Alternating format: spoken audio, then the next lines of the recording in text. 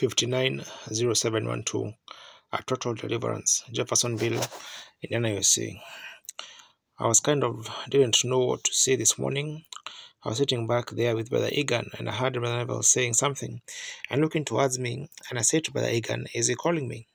And he said, He is. And then here, I'm up here to say something this morning. I was thinking when I was the fan there, where there draws the voice, just seems to pull it right out when you're speaking. It seems that the fan takes the voice right away. I was hearing so testimony when I was in there to pray for the woman on the phone. And the one who got the message forgot to put the city of the place where to call from Dr. Morrison's wife.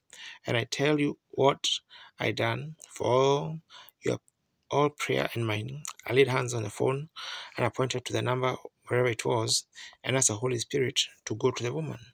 So I think he'd hear that just the same as he would be if we would sing.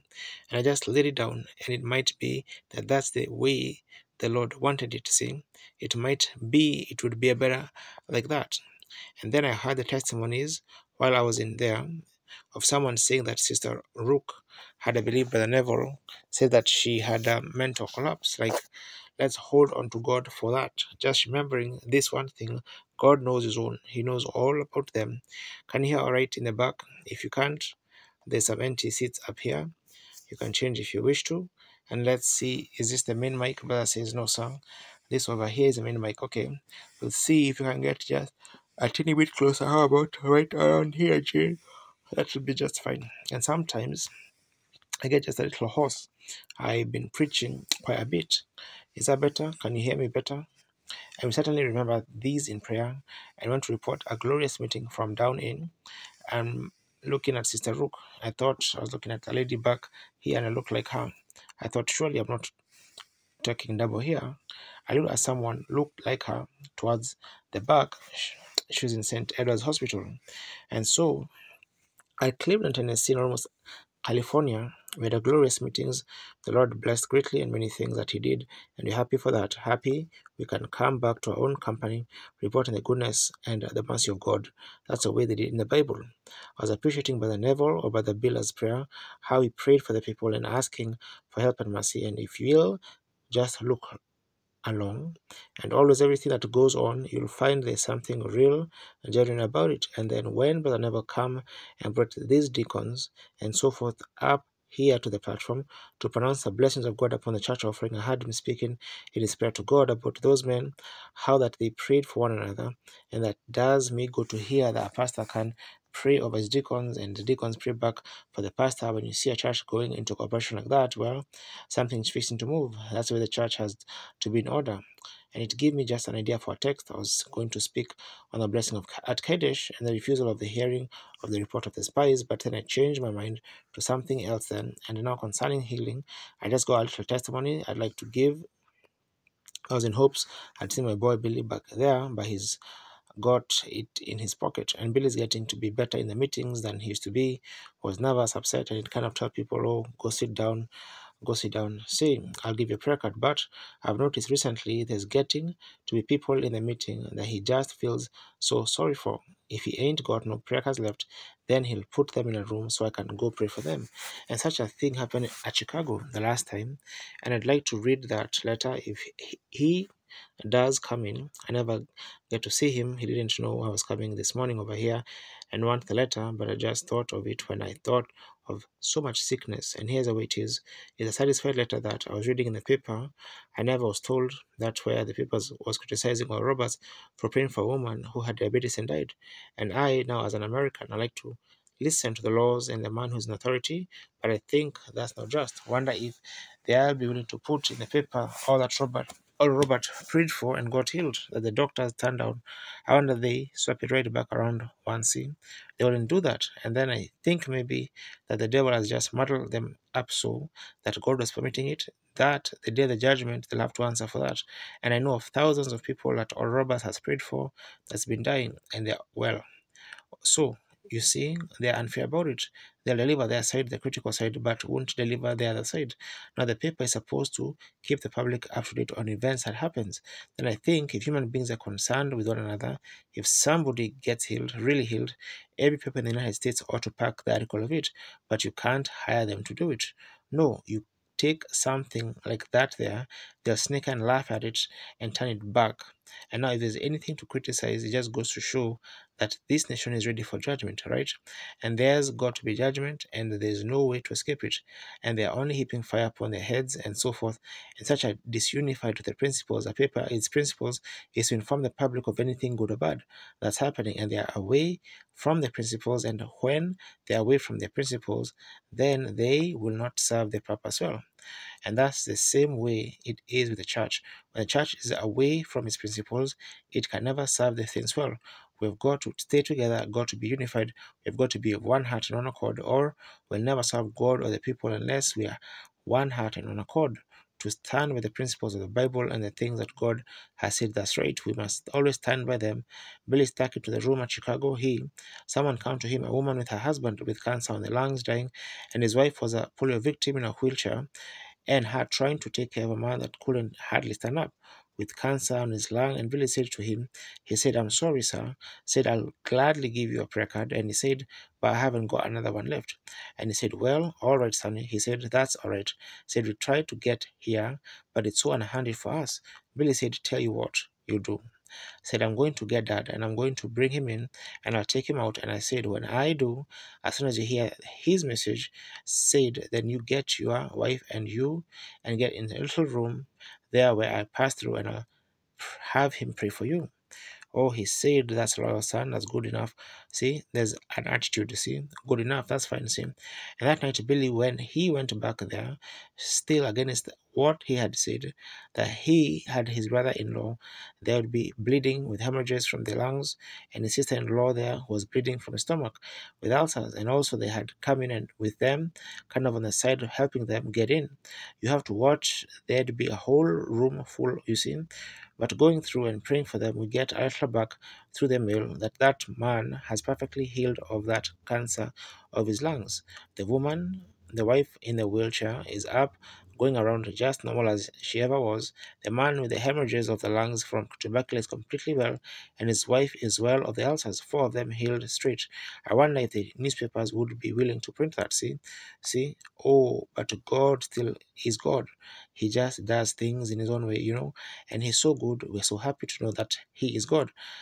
We was talking the other morning about a little preacher that we know that used to go around pray for the sick and everything, and he went and prayed for a person in hospital in Louisville and a tubercular case. The lady died.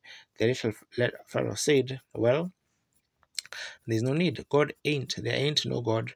He'd keep his word. Said, I anointed her just like the Bible said. If he doesn't keep his word, he's not God. Said, it's just a book. Now, that would seem like that unless you know God, that's a part of the scriptures, but it's not all of the scripture. It's upon the basis of the faith of the individual, see. And I told my wife, I said, there's been so many things happen that I just know that there is. I don't know what's going to happen to me at the end. I may go to the same way if God ever moves his hand on of mercy from me. I'll go the same way. But as long as he'll keep his hand of mercy and guidance upon me, I'll go on. By asked, made I said, Who was it in the room that morning after the vision of me seeing my little girl Sharon? By the way, the other day, I like to fainted.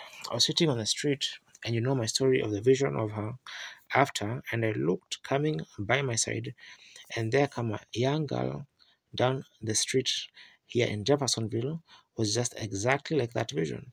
I just had to grasp my hands together. I looked so much like that vision of my little Sharon. She was a young woman then. And after that vision, that morning, when in glory, I hope was telling me, had her arm around my shoulder, saying, Don't worry about us, Bill. We're better off. I was just trying to commit suicide. And she said, Don't worry, promise me you won't worry anymore. And I said, I can't promise it hope because I worry. I can't help it. And I come out of the vision standing in the dark room, and not a vision, not an illumination, but her arm was still around me, and she was patting me. I thought, wait a minute, this is not, I didn't know what to call it in them days a vision. I just call it a trance. I said, This is her hand. It's still there. I said, Are you there, Hope? She said, Bill promised me that you won't worry anymore about me and Sharon, cause I was at the end of the road.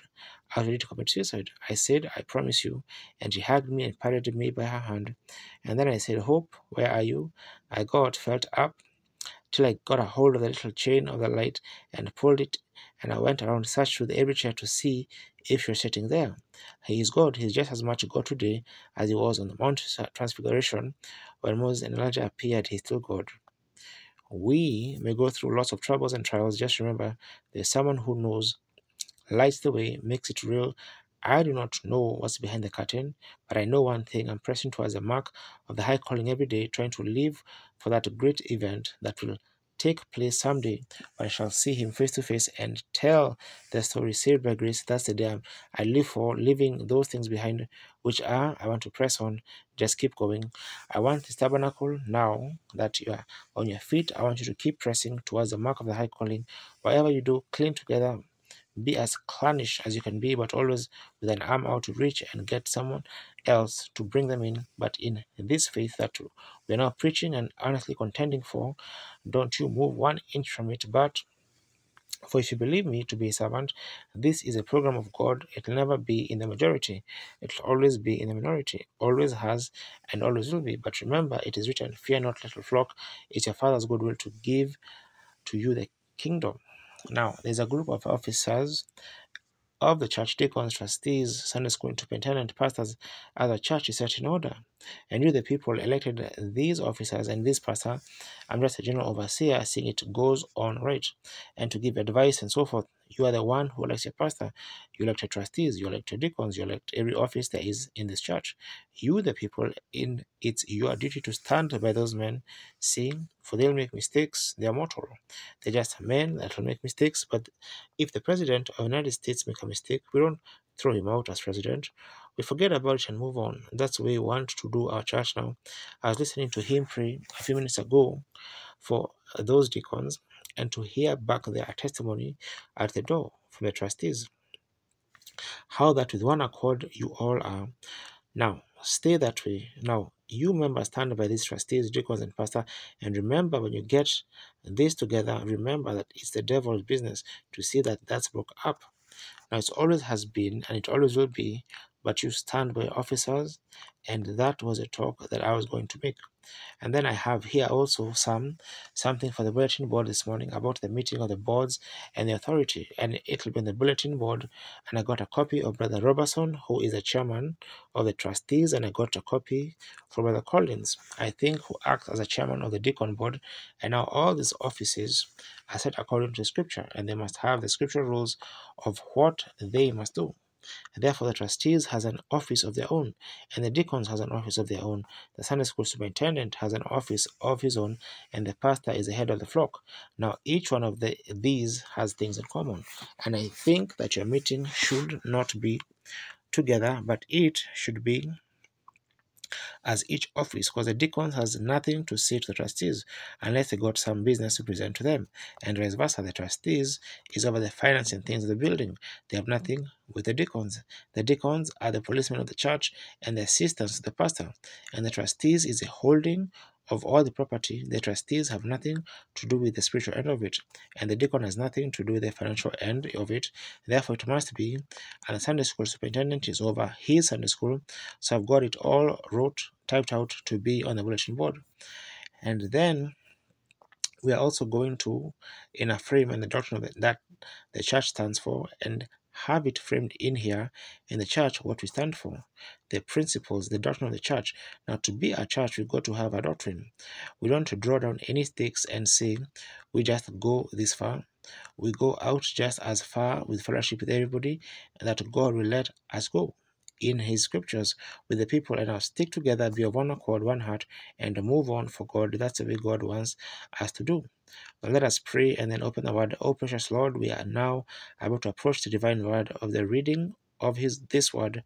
May Holy Spirit interpret to us that which we have need of, and let us speak, Lord, and act and live, knowing that we are all children by grace, as you have called us. May there be a fellowship in this church, seeing that we are just about to emerge into the some great move we feel of bringing up other ministers to go out into the fields of where if you shall send me into different parts of the world, there to establish the faith and to have a minister ready and willing and trained to take over, and may the faith that was once delivered to the saints, for we are currently standing for, become a circle around the world. Grant it, Lord. May this little weed pile, as it was one day we dedicated it to you.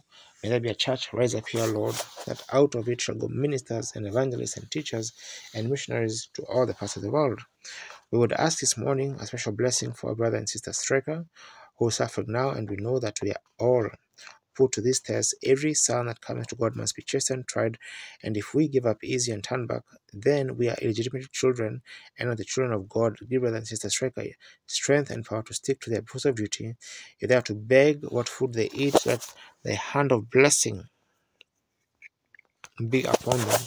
For we know not, but it might be through that very effort that you will show the native of Africa what a real Christian is. Granted, Lord, now let it be all done according to thy will.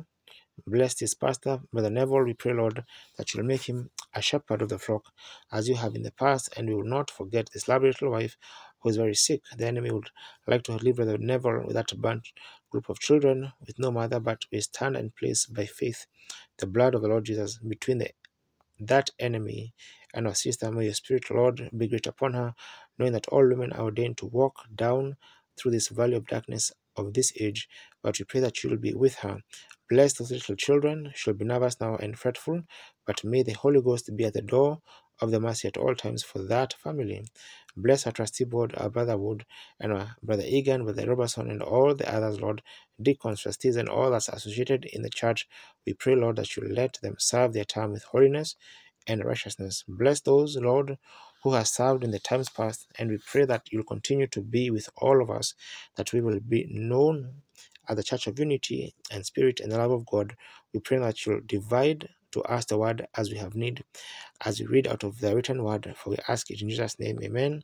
And in praying, I was thinking that as we were blessing of all the asking blessings for modern, a new board of trustees and so forth, I was thinking of our brother Fleeman and brother Detzman and them sitting here who has served well on before.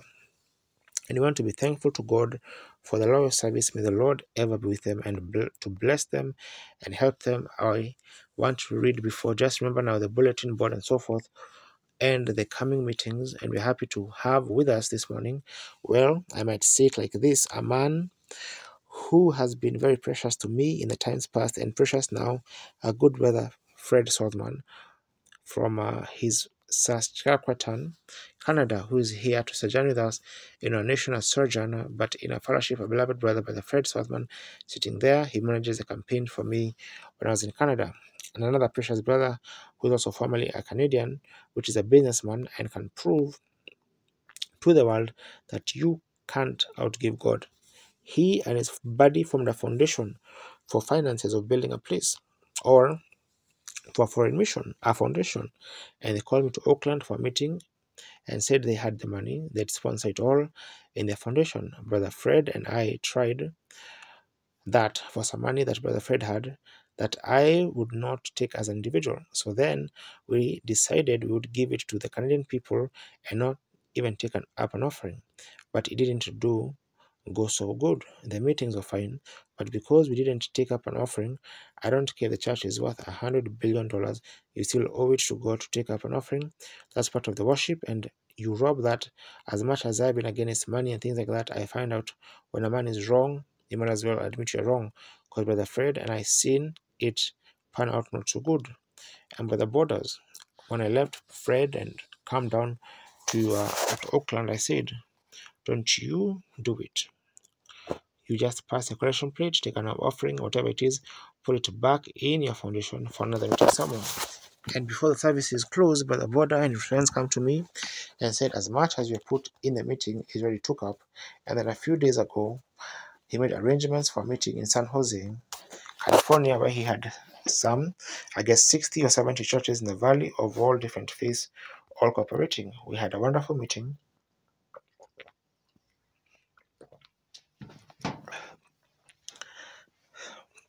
And turning back again November. We're happy to have you with us, Brother Borders back there, and these many strangers maybe to you all, but they have been precious brothers to me out in the fields, contending earnestly for the faith that we're standing for. God bless you, brother.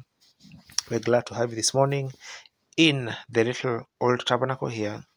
It's not so much to look upon, but there's something here that we know that God lives here. You see, we're so happy for that. And there is other precious brethren, if I had time to mention, that's with us today. Now I am anticipating and praying that in the next few days, the Lord willing, I want to go feeling led. I haven't made the announcement. The next meeting to Ohio to be with Brother Sullivan on the campaign grounds within a short time. It's only about 100 miles up there, I guess, June. Something like that to be a fine trip. You haven't planned your vacation. If the Lord continues to lead, very fine man, and we appreciate Brother Sullivan a great deal. Just uh, he's a mayor of the city. He was just ex-mayor and just an old-fashioned Kentuckian. That's all I can say about him. When I meet met him the other day, we was both raised down there in the mountains of Kentucky. He said to me, "Have you still got your ass surfeit ladder around your neck, Billy?" Now you know what uh, how Kentucky he is. Now let's turn in no regards to my Kentucky brethren here, Brother Jeffries and so forth.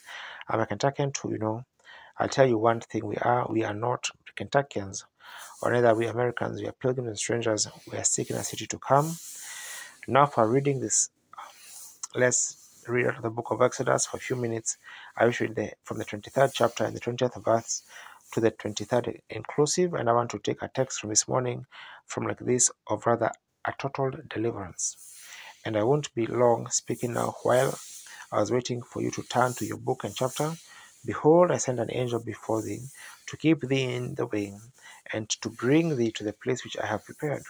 Beware of him, obey his voice, provoke him not, for he will not pardon your transgressions, for my name is with him. I'm sure that the congregation knows who this angel was. My name is in him.